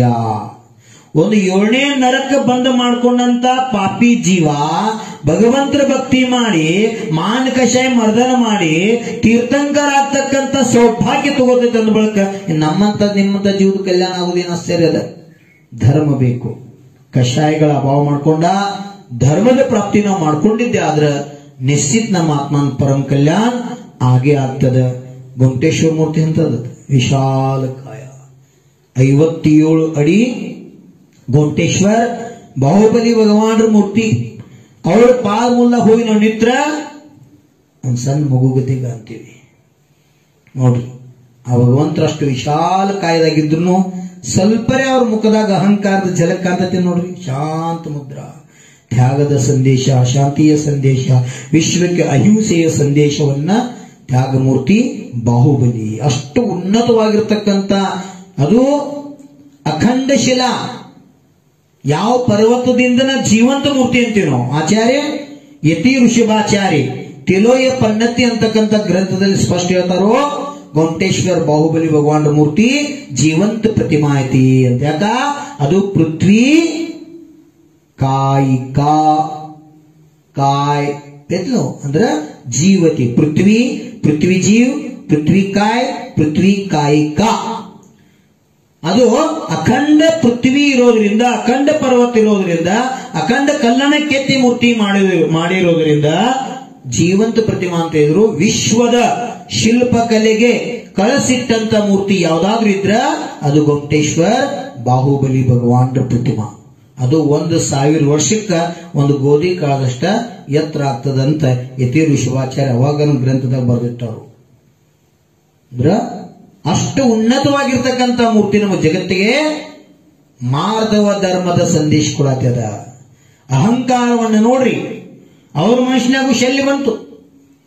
ನಾ ಎಲ್ಲ ಗೆದ್ನಿ ಮೂರು ಯುದ್ಧದಾಗ ಗೆದ್ನಿ ಎಲ್ಲ ಗೆದ್ರು ಬರ್ತನ್ ಜಾಗದಾಗ ನಿಲ್ಲು ಪಾಳಿ ಬತ್ತಲ್ಲ ನೋಡ್ರಿ. ಯಾವಾಗ ಭರತ ಆದಿನಾಥ ತೀರ್ಥಂಕರ ಸಮೋಶಯದಲ್ಲಿ ಪ್ರಶ್ನೆ ಕೇಳ್ತಾರೋ ಅವರು ಪ್ರಥಮ ಶ್ರೋತ ಯಾರಿಗೆ? ಆದಿನಾಥ ತೀರ್ಥಂಕರರ. ಪ್ರಥಮ ಚಕ್ರವರ್ತಿ ಜ್ಯೇಷ್ಠ ಪುತ್ರ ಆದಿನಾಥರ. ಹೇ ಬಂತೆ ಹೇ ದೇವ, ಹೇ ತ್ರಿಲೋಕಿನಾಥ, ಹೇ ಯುಗಾದಿ ಪುರುಷ ಆದಿ ಬ್ರಹ್ಮ ಪುರು ಪರಮೇಶ್ವರ್, ಹೇ ಋಷಭ್ ದೇವ್ ಭಗವಾನ್, ನನ್ನ ಅನುಜ ಬಾಹುಬಲಿ, ದೀಕ್ಷಾ ತಗೊಂಡ ಹನ್ನೆರಡು ತಿಂಗಳಾಯ್ತು. ಒಂದು ಯುಗ, ಒಂದು ವರ್ಷ ಕಳೆದು ಹೋಯ್ತು. ಆದರೂ ಅವರಿಗೆ ಕೇವಲ ಉತ್ಪತ್ತಿ ಆಗ್ತಾ ಇಲ್ಲ. ಕಾರಣ ಏನು ಅಂತ ಕೇಳಿದಾಗ ಆದಿನಾಥ ಭಗವಾನ್ ಹೇಳ್ತಾರೋ, ಹೇ ಭರತ್, ಅವ್ರ ಮನುಷ್ಯನಾಗ ಒಂದ್ ಸ್ವಲ್ಪ ಶೆಲ್ ಎಲ್ಲಾ ತ್ಯಾಗ ಮಾಡಿ ಆದ್ರೂ ಭರತನ್ ಜಾಗದಾಗ ನಿಲ್ಲು ಪಾಳೆ ಬತ್ತಲ್ಲ ಅಂತ ಈ ವಿಷಯ ಅವ್ರ ಮನುಷ್ಯನಾಗ ಇರೋದ್ರಿಂದ ಕೇವಲ ಜ್ಞಾನ ಉತ್ಪತ್ತಿ ಆಗಿಲ್ಲ ಅಂತ ಹೇಳಿದ್ರು. ಭರತ್ ದಾವಿಷಿ ಬಂದ, ಕೈ ಜೋಡಿಸಿ ಪ್ರಾರ್ಥನಾ ಮಾಡ್ತಾರೋ, ಹೇ ಬಾಹುಬಲಿ ಯೋಗಿರಾಜ್, ಹೇ ಮುನಿರಾಜ್, ಹೇ ಯತಿರಾಜ್, ಹೇ ಮಹಾನ್ ತಪಸ್ವಿ, ದೀರ್ಘ ತಪಸ್ವಿ, ಎಷ್ಟು ಹನ್ನೆರಡು ತಿಂಗಳ ಕಾಲ, ಹನ್ನೆರಡು ತಾಸು ನಿಲ್ರಿ ಗೊತ್ತಾಕೈತಿ. ಒಂದೇ ಜಾಗದಾಗ. ಕುಂಡ್ರಕ್ ಆಗೋದು ಒಂದ್ ತಾಸು. ಕಾಲ ಆ ಕಡೆ ಈ ಕಡೆ ಬದಲಾಯಿಸ್ತೀರಿ. ಎಷ್ಟೋ ಹನ್ನೆರಡು ತಿಂಗಳು ಒಂದೇ ಆಸನದಲ್ಲಿ ಕಡಗಾಸನದಲ್ಲಿ ನಿಂತು ತಪಸ್ಸೆ ಮಾಡಕತ್ತಾರೋ, ಮೈ ಮೇಲೆ ಮಾಧವಿ ಲತೆ ಹಬ್ಬದ ಕೆಳಗ ಹುತ್ತಾಗಿ ಹಾವುಗಳು ವಾಸ ಮಾಡಕತ್ತಾವ ಮೈ ಎಲ್ಲ ಚೋಳದು ಏರಾಕತ್ತಾವ, ಇಷ್ಟೆಲ್ಲ ಉಪಸರ್ಗ ಆದ್ರೂ ತಮ್ಮ ಧ್ಯಾನದಲ್ಲಿ ಏನಾಗ್ಯಾರು ಹಲ್ಚಲ್ ಆಗಿಲ್ಲ ಆಹಾರ ಇಲ್ಲ ನಿಹಾರ ಇಲ್ಲ ಧ್ಯಾನಸ್ಥ ಮುದ್ರೆ. ಇಷ್ಟಾದ್ರೂ ಕೇವಲ ಜ್ಞಾನ ಇಲ್ಲ. ಅದಕ್ಕ ಭರತ್ ಅಂತಾರೋ, ಹೇ ಯೋಗಿರಾಜ್, ಯಾವ ಪ್ರಕಾರ ನೀವೆಲ್ಲ ಭೋಗ ಭಾಗ್ಯ ತ್ಯಾಗ ಮಾಡಿ ಸನ್ಯಾಸ ಸ್ವೀಕಾರ ಮಾಡಿ, ಮೋಕ್ಷ ಪ್ರಾಪ್ತಿ ಇಚ್ಛೆ ಇಟ್ಕೊಂಡ ತಪಶ್ಚರ್ ಮಾಡ ಮಾಡಕತ್ತೀರಿ? ಹಂಗ ಇವತ್ತಿಲ್ಲ ನಾಳೆ, ನಾವು ರಾಜ್ಯ ಬಿಡಬೇಕು, ಮನಿ ಬಿಡಬೇಕು, ಭೋಗವಾಗಿ ಬಿಡಬೇಕು, ಈ ದೇಹನೂ ನಮ್ದಲ್ಲ. ನಾವು ನಿಮ್ಮನ್ನ ತ್ಯಾಗ ಮಾಡಬೇಕು. ನೀವ್ಯಾಂಗ ತ್ಯಾಗ ಮಾಡಿ ಹೋಗಿರಿ ಹಂಗ ನಾನು ಇವತ್ತಿನ ನಾ ತ್ಯಾಗ ಮಾಡಬೇಕು. ಈ ಭೂಮಿ ನಂದಲ್ಲ. ಭೂಮಿ ಯಾರ್ದು ಆಗಿಲ್ಲ. ನಾವ್ ಇರೋಕ್ಕಿಂತ ಮೊದ್ಲಿತ್ತು, ನಾವ್ ಇದ್ದಾಗೋತಿ ನಾವು ಹಾದ ನಂತರ್ನು ಇರ್ತೈತಿ. ಅದಕ್ಕ ಇದ್ರ ಮ್ಯಾಗಿ ನಾವು ಮತ್ತು ಬುದ್ಧಿ ಬಿಡ್ರಿ. ಯಾವುದೇ ವಿಕಲ್ಪ ಇಟ್ಕೋಬೇಡ್ರಿ, ಯಾವುದೇ ಶೆಲ್ ಇಟ್ಕೋಬೇಡ್ರಿ. ಮಿಥ್ಯಾ ಮಾಯಾ ನಿಧಾನ್. ಈ ಶೆಲ್ ಆತ್ಮ ಪತನ ಕಾರಣತೆ ನಿಮ್ಮ ಆತ್ಮ ಕಲ್ಯಾಣ ನೀವು ಮಾಡ್ಕೊಳ್ಳಿ. ನೀವ್ ಹೆಂಗ್ ತ್ಯಾಗ ಮಾಡಿ ಹೋದ್ರಿ ಇವತ್ತಿನ ನಾಳು? ನಿಮ್ಮ ಮಾರ್ಗ ನಾನು ತ್ಯಾಗ ಮಾಡೋದೀನಿ ಈ ಮನುಷ್ಯನ ತೆಗೆದು ನಿಮ್ಮ ಆತ್ಮ ಕಲ್ಯಾಣ ಮಾಡ್ಕೋರಿ ಅಂತ ಚಕ್ರವರ್ತಿ ನಿವೇದನೆ ಮಾಡಿದಾಗ ಅಂತರ್ಮೂರ್ತದಾಗ ಆತ್ಮಸ್ಥ ಆದ್ರೂ ಬಾಹುಬಲಿ ಭಗವಾನ್ ಕೇವಲ ಜ್ಞಾನ ಪ್ರಾಪ್ತಿ ಆಯ್ತು. ಅದಕ್ಕ ಎಲ್ಲಿವರೆಗೆ ನಮ್ಮ ಮನುಷ್ಯನ್ಯಾಗ ಅಹಂಕಾರದ ಅಲ್ಲಿವರೆಗೆ ನಮ್ಮ ಆತ್ಮನ ಕಲ್ಯಾಣ ಸಾಧ್ಯ ಆತ್ಮ ಕಲ್ಯಾಣ ಆಗ್ಬೇಕಾಗಿತ್ತು ನಮ್ಮಲ್ಲಿ ಮೃದುತ್ವ ಬೇಕು, ವಿನಯ ಬೇಕು. ವಿನಯ ಎಷ್ಟು ಬೇಕಂದ್ರೆ ಸಾದಾ ಸೀದಾ ಭಾಷೆದಾಗ ಒಂದು ಬಾಟ್ಲೆದಾಗ ನೀರು ತುಂಬಬೇಕಾದ್ರೆ ನಾವು ಬಾಟ್ಲೆ ನೀರ ಬಿಟ್ರೆ ಸ್ವಲ್ಪ ವಂಕ ಮಾಡಿಬಿಟ್ರೆ ಬುಡು ಬುಡು ಬುಡು ಬುಡು ಬುಡು ತುಂಬಿಡ್ತು ಅದ ಶೆಟ್ಟದ್ ನಿಂತಂದ್ರ ನೀರು ತುಂಬೋದಿಲ್ಲ. ಹಂಗ ಎಲ್ಲಿ ನಾವು ವಿನೀತ ಆಗ್ತೀವಿ. ವಿನಯಂ ಮೊಕ್ಕಸ ದ್ವಾರ. ವಿನಯೇ ಮೋಕ್ಷದವಾಗಿಲ್ಲ. ಏನ್ ಹೇಳ್ತಾರೋ? ವಿನಯದಿಂದನೇ ಎಲ್ಲ ಸಾಧ್ಯ. ಅದಕ್ಕೆ ನಾವು ದೇವಶಾಸ್ತ್ರ ಗುರುಗಳಲ್ಲಿ ವಿನೀತರಾಗಿ ದರ್ಶನ, ಜ್ಞಾನ, ಚಾರಿತ್ರ, ತಪ, ಉಪಚಾರ ಈ ವಿನಯಗಳನ್ನ ನಾವು ಪಾಲನೆ ಮಾಡೋದ್ರಿಂದ ನಮ್ಮ ಆತ್ಮನ ಕಲ್ಯಾಣ ಆಗ್ತದೆ. ಉಪಚಾರ ಅಂದ್ರೆ ಬಂದಂತ ಬರ್ರಿ ಜೈ ಜಿನೇಂದ್ರ, ಕುಂಡ್ರಿ, ನೀರ್ ತಗೋತೀರೇನ ಒಂದ್ ಎರಡು ಮಾತು ಚಲೋ ಮಾತಾಡ್ರ ಏನ್ ಎಷ್ಟು ಚಲೋ ಮನುಷ್ಯರದಾರು ಇಷ್ಟ? ಎರಡ ಉಳಿತು ಚಲೋ ಮತ್ತು ಕೆಟ್ಟ. ಮನುಷ್ಯ ಸತ್ ನಂತರ ಸ್ವರ್ಗಕ್ಕೆ ಹೋದ್, ನರ್ಕಕ್ಕೆ ಹೋದ ತಿಳ್ಕೋದ್ ಹೆಂಗ ಅಂತ ಕೇಳ್ರ, ಸತ್ ನಂತರ ಹೊಕ್ಕಿರ್ತಾರ ಹೆಣ ತಗೊಂಡ್ ಹಿಂದ ನಾಲ್ಕು ಮಂದಿ ದಿನ ಹತ್ತಿರ್ತಾರ. ಅವ್ರ ಜೋಡಿ ಹೋದ್ರೆ ಗೊತ್ತಾಕೈತಿ. ನಾಲ್ಕು ಮಂದಿ ಮಾತಾಡ್ತಿದ್ರಂದ್ರ ಏನಪ್ಪ ಪುಣ್ಯಾತ್ಮ ಇದ್ದ, ಲಘು ದೇವ್ರು ಹೋಗಿಬಾರ್ದಾಗಿತ್ತು ಚಲೋ ಮಂದಿ ಕಾಲಿನ ನೋಡು ಬಾ ಬಹಳ ಚಲೋ ಐತಿ ಮನುಷ್ಯ ಅಂತ ಅಂತಿದ್ರು. ಆ ಮನುಷ್ಯ ಸತ್ತ ಸದ್ಗತಿ ಹೋಗಿ ಅಂತ ತಿಳ್ಕೋದು. ಊರಾಗ ಪೀಡಾ ಹೋದ್ ಚಲೋ ಆತ್ ಅಂತಿದ್ರು. ಆ ಜೀವ ಸತ್ತ ದುರ್ಗತಿ ಹೋಗಿದ್ದೆ ತಿಳ್ಕೋದು. ನಾ ನಾಲ್ಕು ಮಂದಿ ಬಾಯಾಗ ಒಳ್ಳೆಯವರಾಗಿ ಉಳ್ಕೋಬೇಕು. ಅಂದ್ರೆ ನಮ್ಮ ಜೀವನ ಆದರ್ಶ. ಭೂಮಿ ತಲೆ ಎಲ್ಲರೂ ಜನ್ಮ ತಗೊಂಡಿ ಅನ್ಬೇಕ ಮರಣ ಅಂತೂ ನಿಶ್ಚಿತ ಅದ. ಜನನ, ಮರಣ ನಡು ಜೀವನ ಆ ಜೀವನ ಮಂಗಲ ಮಾಡ್ಕೋಬೇಕಾಗಿತ್ತಂದ್ರ ನಮ್ಮಲ್ಲಿ ಧರ್ಮ ಅನುಷ್ಠಾನ ಅಂತ ಅವಶ್ಯಕದ ಆ ಉತ್ತಮ ಮಾರ್ಧವ ಧರ್ಮದ ಪ್ರಾಪ್ತಿಗಾಗಿ ನಾವು ಮಾನ್ ಕಷಾಯ ಮರ್ದನ ಮಾಡಬೇಕು. ವಿನಯ ಸಂಪನ್ನತಾ, ವಿನಯ ಗುಣಗಳನ್ನು ನಾವು ಪ್ರಾಪ್ತಿ ಮಾಡ್ಕೊಂಡಾಗ ಮಾತ್ರ ಸಾಧ್ಯ. ಅದಕ್ಕೆ ಎಲ್ಲರೂ ಒಳಗೆ ವಿನಯ ಬರಲಿ. ದೇಶದ ಬದ್ದಲ್ಲಿ ಇರ್ಬೋದು. ಸಮಾಜ ಬದ್ದಲ್ಲಿ ಇರ್ಬೋದು ಧರ್ಮದ ಬದ್ದಲ್ಲಿ ಇರ್ಬೋದು ಪರಮಾತ್ಮರ ಬದ್ದಲ್ಲಿ ಇರ್ಬೋದು ಗುರುಗಳ ಬದ್ದಲ್ಲಿ ಇರ್ಬೋದು ಶಾಸ್ತ್ರ ಬದ್ದಲ್ಲಿ ಇರ್ಬೋದು ನಾವು ವಿನಯ ಪಾಲನೆ ಮಾಡಿದ್ದಾದ್ರ ಆ ವಿನಯ ನಮಗ ಮೋಕ್ಷದ ಬಾಗಿಲನ್ನ ತೆರಿತದ. ನಮ್ಮ ಆತ್ಮ ಮೋಕ್ಷ ಪ್ರಾಪ್ತಿ ಮಾಡ್ಕೋ ಸಾಧ್ಯ ಆಗ್ತದ. ಆ ವ್ಯಕ್ತಿತ್ವ ಪ್ರತಿಯೊಂದು ಆತ್ಮ ಬರಲಿ, ಮಂಗಲಮಯ ಭಾವನೆ ಇಟ್ಕೊಂಡು ಜೈ ಬಲು ಉತ್ತಮ ಮಾರ್ಧವ ಧರ್ಮ ಕಿ